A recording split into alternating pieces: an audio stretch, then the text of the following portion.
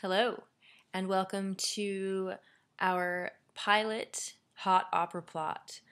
Today's plot is the story of Carmen, and our performer is Christine Killian, who currently resides in Baltimore, Maryland. She is a graduate of the Peabody Conservatory and a fantastic MC. I had the privilege of accompanying uh, Ms. Killian on this track, and we really hope you enjoy uh, Bizet's Carmen.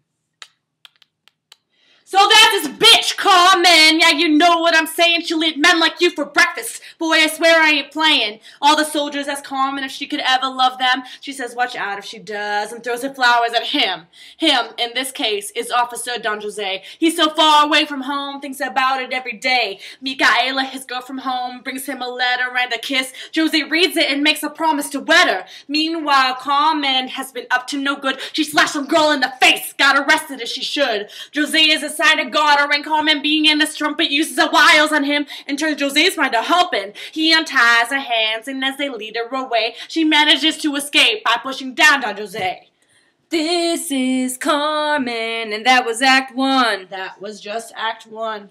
This is Carmen, and that was Act One. It's a month later, Carmen's with her crew. They're all going to the theater, but she doesn't want to. She's thinking about Don Jose, who was in jail because of her, and she knows that he got out just the day before. Escamillo, the tall, tries to get in her pants. Carmen won't have none of it. Her mind's on her great romance. Her smuggler friends want her to go with them, but she has no choice. She says that she's in love, and then she hears Jose's voice. When he gets there, she dances for him alone. Everything's going well, but then the bugle sound. Jose has gotta go back, and Carmen's pretty pretty pissed off. He sings an aria to her, but she doesn't go soft. She demands that he run away with her immediately. Jose is kinda torn up. He can't desert, can he? Then an officer busts their party and Jose takes out a sword. Before anything can happen, the smugglers, they stop the war. They take the other punk hostage. Jose's along for the ride, cause if he puts up a fight, they're gonna skin him alive. This is Carmen, and that was Act Two. That was Act Two. This is Carmen, and that was Act Two. Carmen, Josie and the smugglers are traveling now with the goods. Josie's getting on her nerves. She'd them back if she could. She and her girls tell their fortunes, their frenzy, romance, and wealth. But Carmen's cards only show she and Jose are doomed to death. The smugglers ask the girls to charm some officers for them, leaving Jose to guard the contraband all on his lonesome. Micaela arrives with just one goal on her mind, to get Jose back from Carmen. She hears a shot and she hides. Jose has shot at Escamillo, not realizing who he was. First he welcomes him with open arms. He regrets it because Escamillo knows the story of the soldier and Carmen. The soldier gave up his whole life, but now the girl finds him Carmen. Jose, determined to fight, attacks the man with his knife. Escamillo, he bests him, but refuses to take his life. They fight again, and the bullfighter's knife, it breaks into two. Everybody busting just in time. Escamillo bids adieu. Micaela is found. She tells Jose one side of hiding. His mother wants to see him, and soon because she's dying. Jose agrees reluctantly and promises to be back soon. In the distance, Carmen hears a new voice that makes her swoon.